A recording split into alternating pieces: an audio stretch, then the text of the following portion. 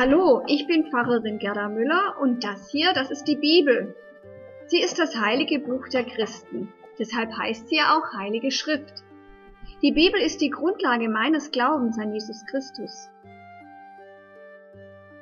Wenn nur eine Geschichte oder ein Psalm oder ein Gebot aus der Bibel dir hilft, besser zu leben, mehr Hoffnung zu haben, tiefer zu glauben oder mehr Lebensmut zu bekommen, dann ist die Bibel aktuell, nämlich in deinem Leben.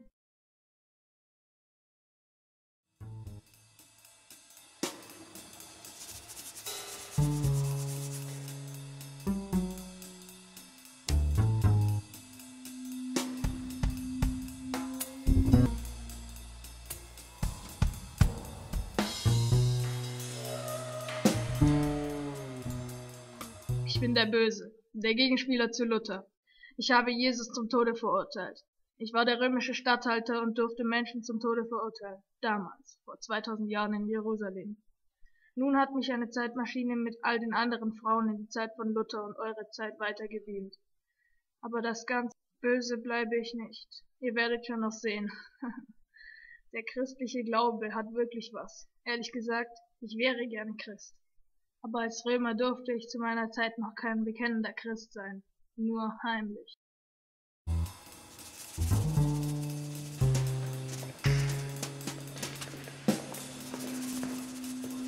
Hey!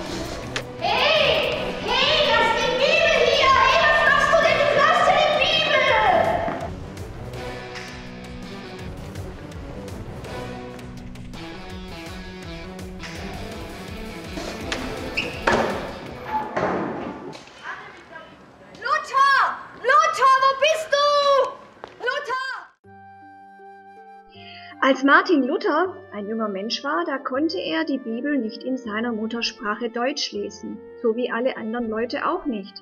Damals gab es die Bibel nämlich noch nicht auf Deutsch. Ganz schöner Skandal war das. Aber das wollte die damalige Kirche so. Die Menschen sollten nämlich nicht in der Bibel in ihrer Sprache nachlesen können.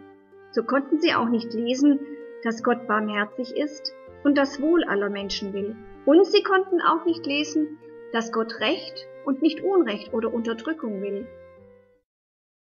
Also ich bin der, der die Bibel ins Deutsche übersetzt hat und die evangelische Kirche gegründet hat. Ich hatte den Mut, gegen den Kaiser und den Papst aufzubegehren. Woher ich den nahm, weiß ich nicht so recht.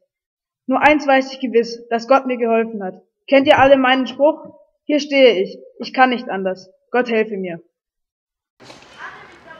Luther! Luther, wo bist du?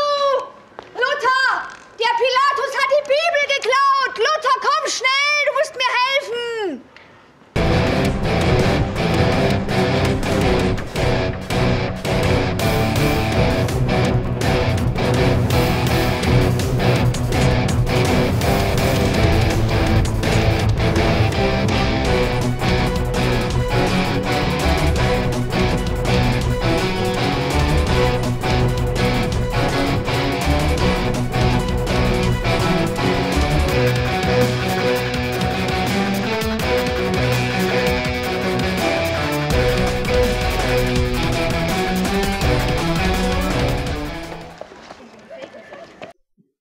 Ich bin Maria, die Mutter von Jesus. Da muss ich ja eigentlich nicht viel zu mir sagen. Nur eines, ich war auch mal Nichtmutter und eine Jugendliche. Wobei es zu meiner Zeit keine richtige Jugend gab. Mädchen haben früh geheiratet. Ich spiele aber jetzt die unverheiratete Maria, die Jesus noch nicht geboren hat.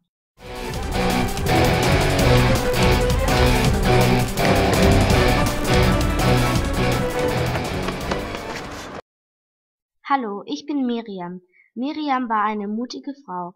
Sie lebte vor mehreren tausend Jahren in Ägypten. Sie gehörte zum Volk Israel, das in Ägypten als Sklaven unterdrückt wurde. Miriam war die Schwester von Mose. Sie beobachtete, wie die Pharaontochter den Mose in einem Schilfkörbchen auf dem Nil fand. Gott befreite die Israeliten aus der Sklaverei. Miriam, ihre Brüder Mose und Aaron führten das Volk in die Befreiung. Miriam war auch Prophetin. Das ist eine Gottesbotin. Von ihr ist ein Freudenlied überlieferte. Sie tanzte einen Freudentanz als die Ägypter ins Meer gestürzt wurden. Hallo, ich bin nicht aus der Bibel, sondern aus der Kirchengeschichte. Ich lebte vor 500 Jahren und war mal Nonne. Dann kam die Reformation. Ich wollte nicht mehr länger Nonne sein. Es war ein hartes Leben für mich. Ich haute aus dem Kloster ab und ich traf Martin Luther, der mir half. Wir haben dann geheiratet. Wir hatten viele Kinder. Ich führte Haus und Hof und war eine erfolgreiche Herbergsfrau. Denn Luther hat immer viele Leute mitgebracht. Das Geld habe ich zusammengehalten. Ich gelte als die erste Pfarrfrau.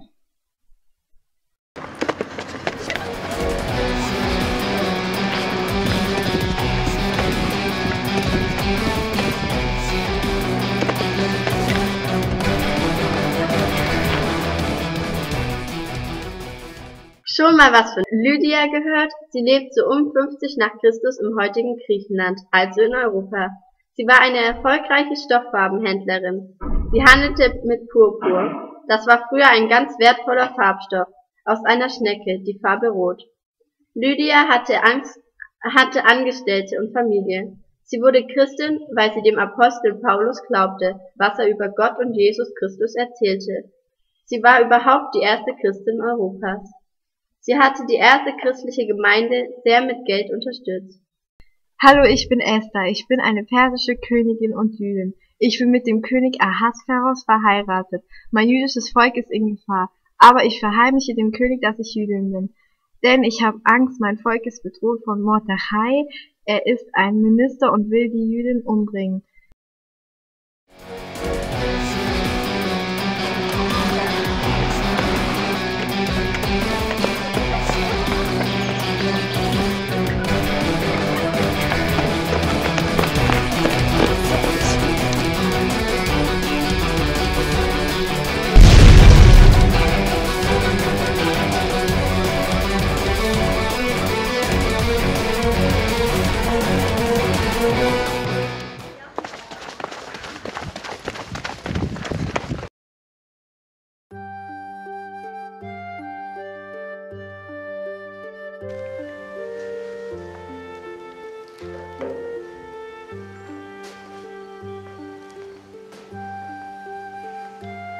Elfte Gebot. Man darf die Bibel der Gustav Werner Kirche nicht stehlen. Da habe ich aber was falsch gemacht.